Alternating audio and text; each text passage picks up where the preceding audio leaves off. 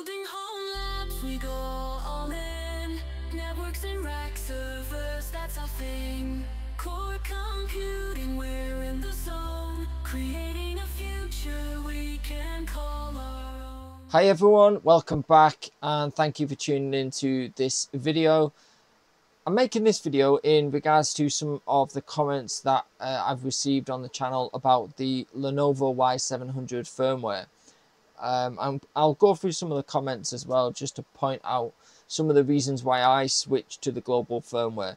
You might also notice that the uh, microphones uh, are a lot better in this video. I did actually uh, invest in a lav mic and that's upgraded so even though I can hear all the fans running from the servers hopefully you can which is good because I think in my last few videos it's it's all the server fans um, also I've had some comments about uh, people asking me you know where to find these deals.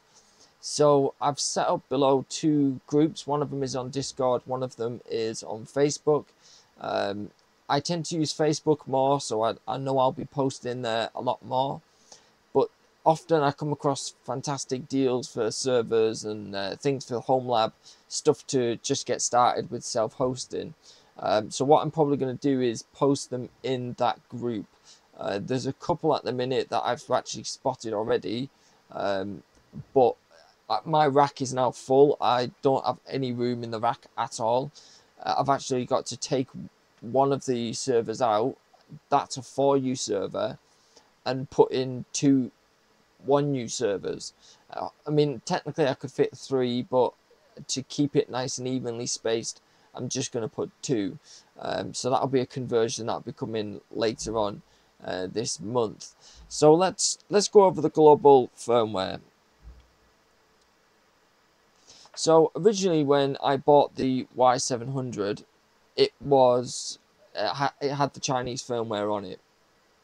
Now I did do some research before I bought it, asking you know some questions and just looking at some forums to see if it was possible, and people said yeah it is possible. One of the comments that I had um, said that the global firmware is crap. I completely disagree, and these are probably my reasons why. The Chinese firmware that comes with it even though you can get certain apps in English and things like that, there's still most of the menus were still in Chinese. The main settings menu wasn't, but when you did, um, for example, the Chinese firmware, when you did like a swipe down or swipe up for the search bar, this would have been Chinese.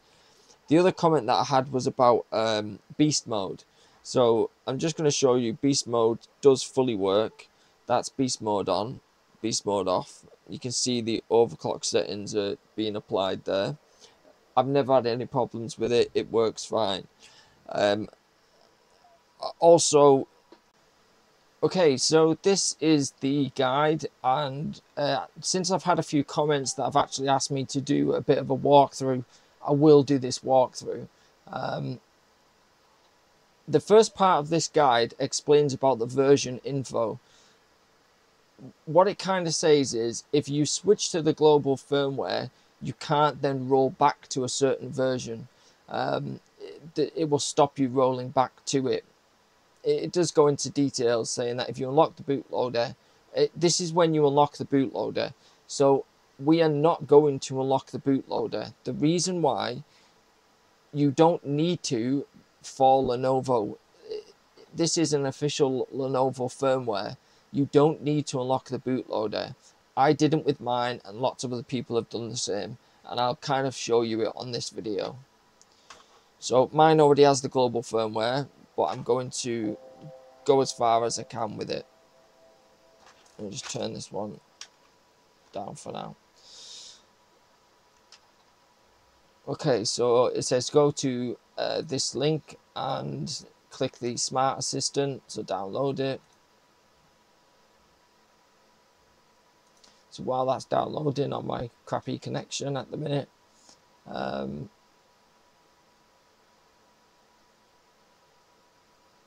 so you'll need to have a Lenovo account as well to log in. Um, usually it's the same as your Google, but it could be different.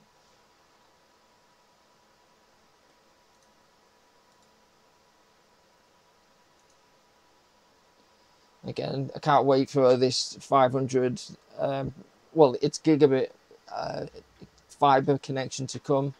I just can't wait for it. This would have been done in five seconds, if that. Um, but this is some of the limitations of VDSL. So what you'll what you will need now that this is installed is a USB-C cable that does data. So this is just um, a Goodman's USB-C cable that does data. It's a USB 3. So usually if it's a USB 3 it will do data as well. Um, that's kind of one way of knowing. And we'll launch the program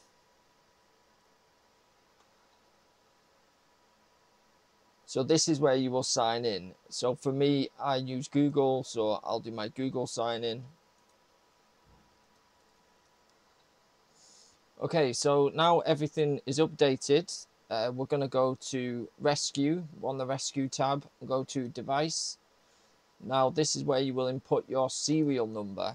The serial number you will find on the back of the tablet. So in, in the guide it says to go to tablet, which we've done, then you can put anything in the serial number.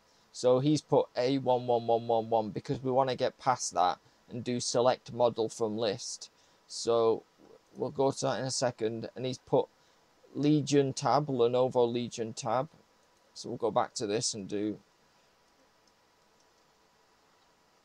Just wait for it to catch up.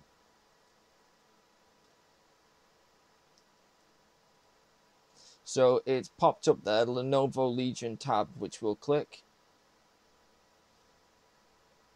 And it says download the um, RO file. So we're going to go confirm. So the tab we're looking for is TB320FC. We're going to go confirm. And then we'll click rescue, proceed, continue to the rescue software update. It's saying, is your personal data backed up? Because it will wipe everything. Um, any existing Google accounts on this device will be removed for security and anti-theft purposes. So it will wipe everything, and that's what we want.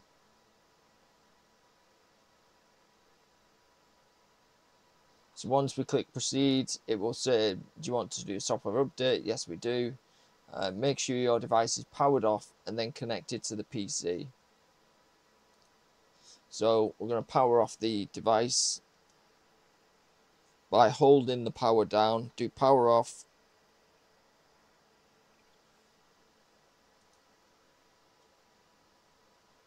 And then what we need to do is put it into rescue mode. So we've not clicked anything yet. We've we've just turned off the device and we're waiting at this screen for to put it into rescue mode. Um, it's saying to scenario one the power it's powered off um, okay so this is the bit where we connect it to the computer and it says um, what we will need to do is hold the volume up and connect the cable to the side USB port.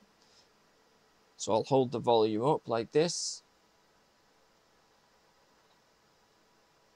And then what you would do, I'm not going to do it because I don't want to wipe my data, is you would connect this to the um, to the tablet with the volume up into the side there and it will start the rescue process going.